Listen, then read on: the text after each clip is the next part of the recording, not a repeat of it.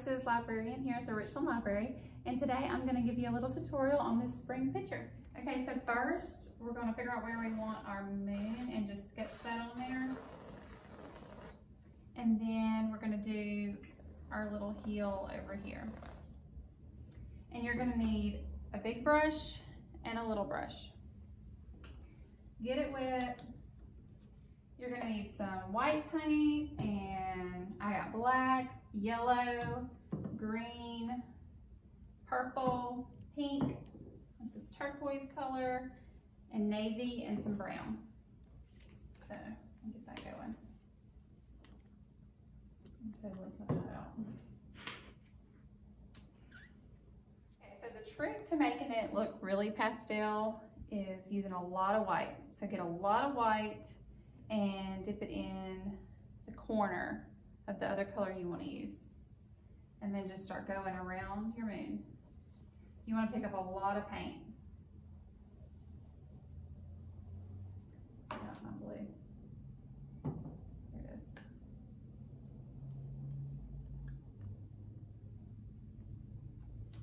I'm going to use a lot of white, just a little bit of blue, and I'm just going to go around that moon and it's going to pick up your every stroke.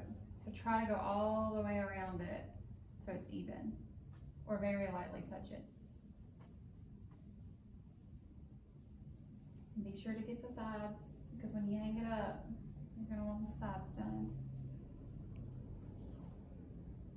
It's more white. I think the white's what makes it pretty.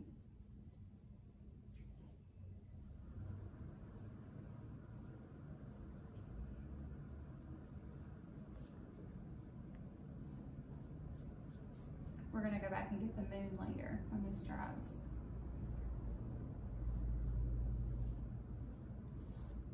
So pick up any color you want. You can pick up some pink and throw it in there with your white.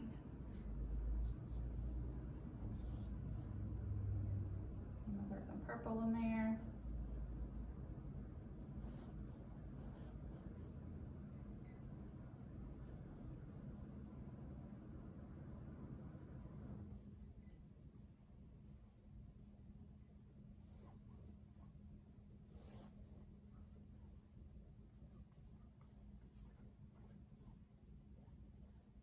And some jams in the background.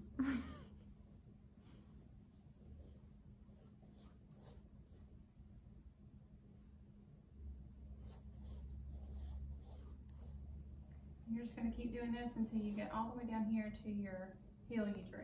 Okay, once you get the background the way you want it, then you're going to pick up your black.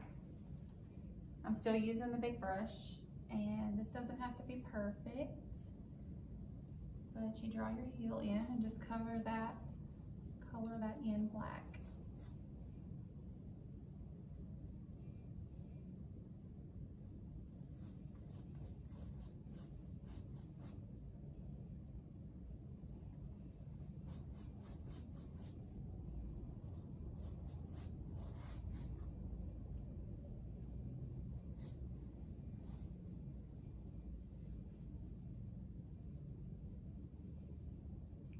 Make sure you get the bottom too. So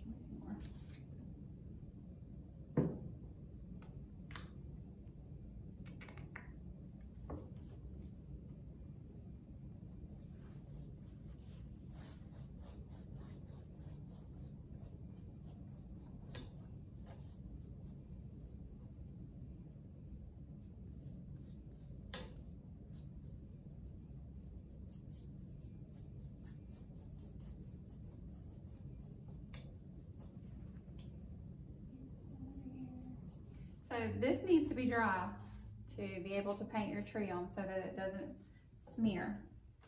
And then I'm gonna take my big brush and my black paint. And the trick to trees is to know that they always go in a Y.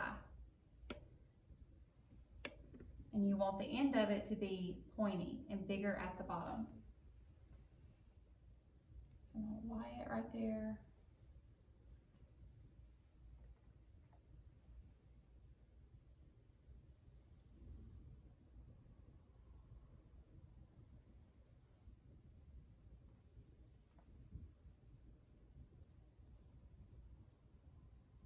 Do one right here.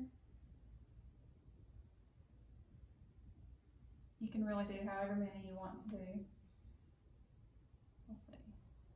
So one right here. Just make sure the ends are really thin and then it gets bigger down here.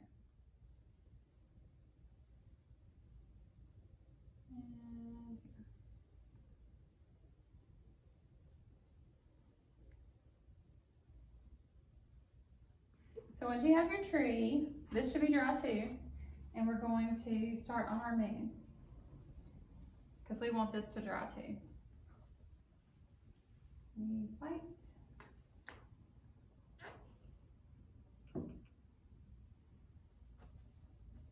And it's okay if there's a little dark spots in your moon because the moon has that.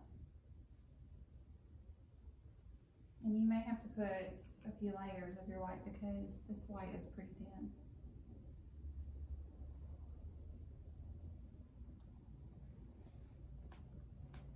And I just twist the brush in my hand to get it to go in a circle.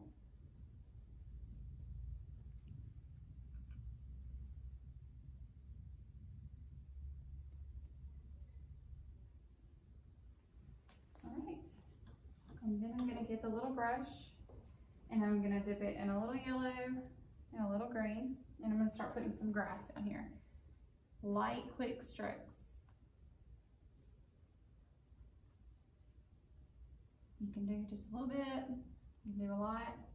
Depends on how bright your moon, you want your moon to be.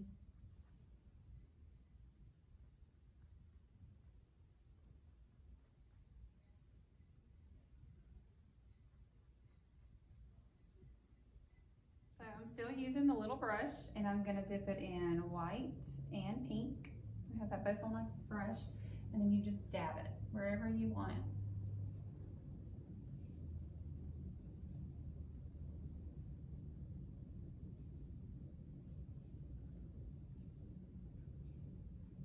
You can put a few down here like they're flying away.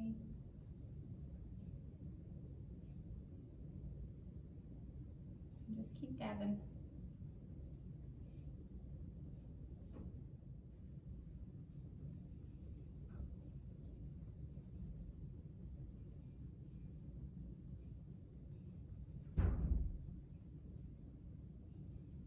All right, the last thing that we're gonna do is we're gonna go a little brown and white on our little brush and just put some lines in your tree.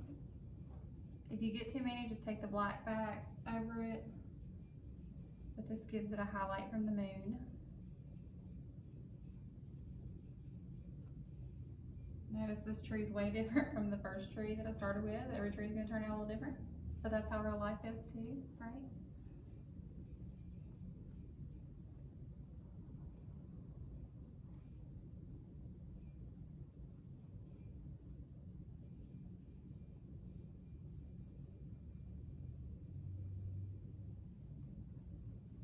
That is how you paint a Japanese cherry blossom. Thanks for watching my tutorial.